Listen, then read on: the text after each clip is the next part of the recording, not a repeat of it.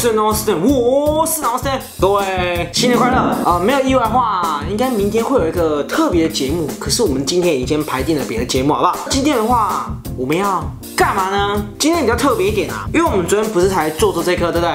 黑暗骑士，然后呢，我们今天玩一个特别的方法，叫做第一次瓦尔基里大战。大家想说哈，什么叫第一次瓦尔基里大战？大家应该知道话，翔一战出了非常非常多款，对不对？然后呢，我们今天要怎样用它来大混战？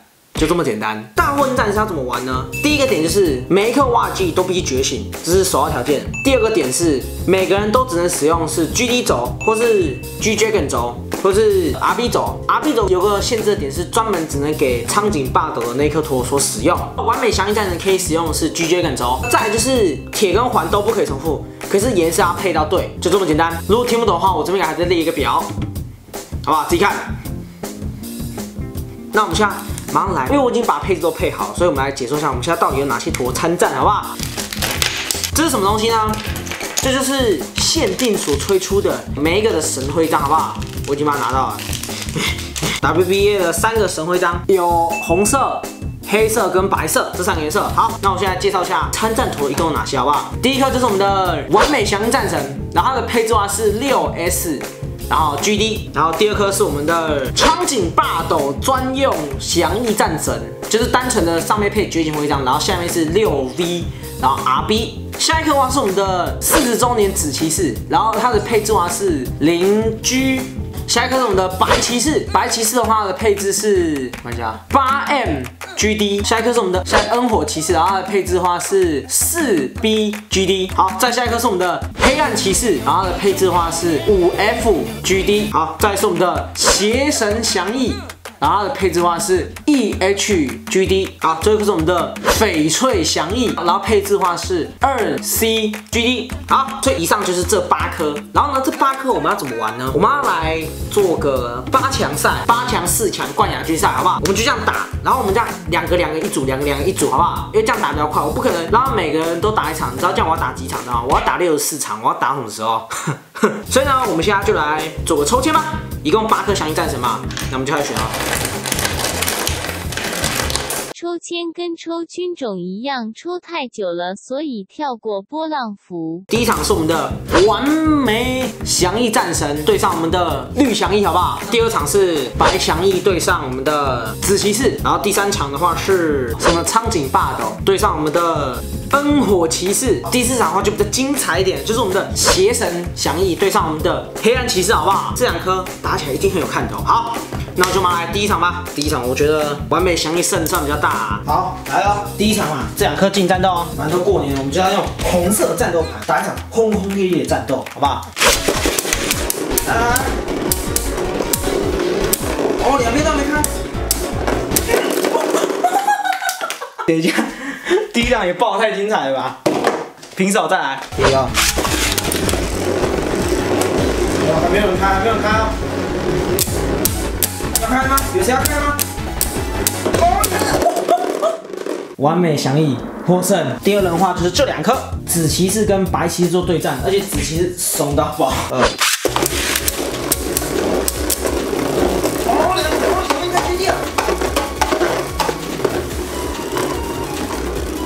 谁要碰到？要碰到吗？要碰到吗？哦，仔细差一格就爆了，大家看，仔细看差一格就爆了，好扯啊！第三组，苍井霸斗对上我们的恩火骑士，好不好？霸斗加油啊！我想看你赢啊！啊！哦，恩火骑士开二段，霸斗还没开二段。这二段好无聊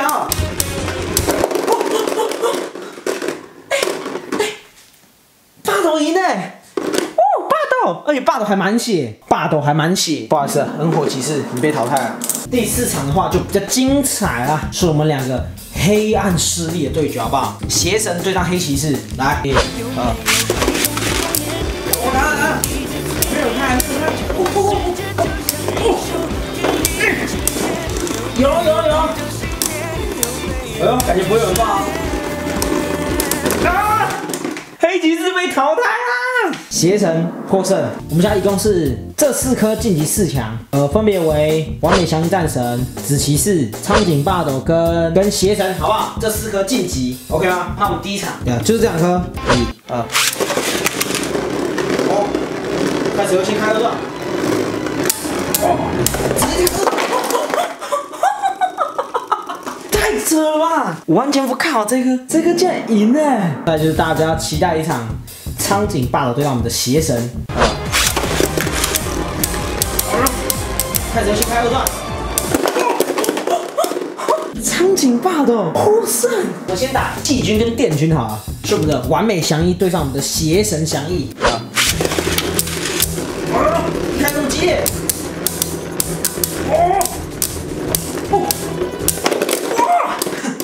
完美强毅获得我们的第三名。接下来进行我们的冠亚军赛，好不好？就是由这两颗苍井霸斗对上我们的紫骑士。呃，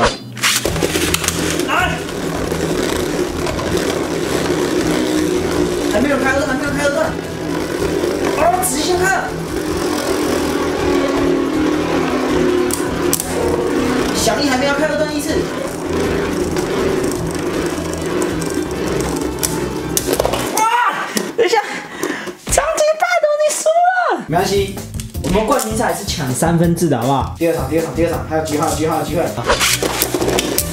啊！哇，没这么定啊！哇！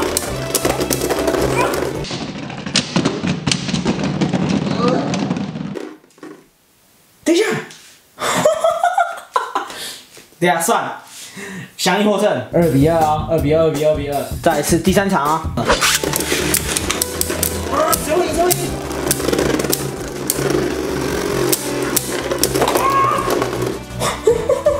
平手加赛来了，呃，不用，还没有开个段，还没有开个段。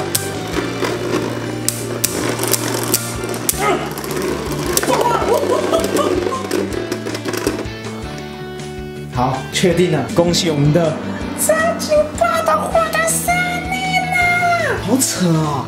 好，以上就是我们这一次的第一次瓦尔基里。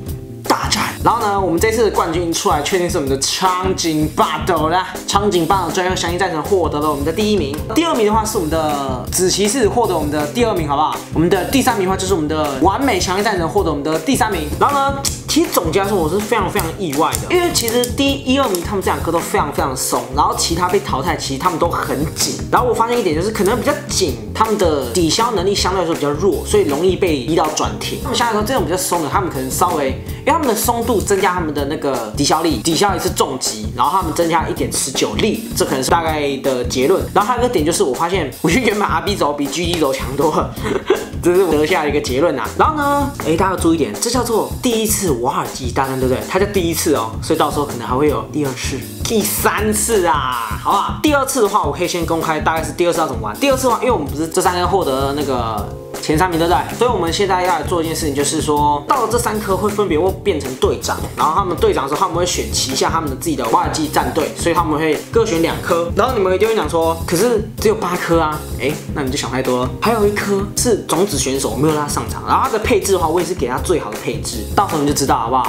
如果想要知道的话，那就继续疯狂按赞呐，影片按赞呐，好不好？如果喜欢这支影片，请帮我按赞并且分享。还有每周每周四晚七时准时发布影片。那我们下次见，好不好？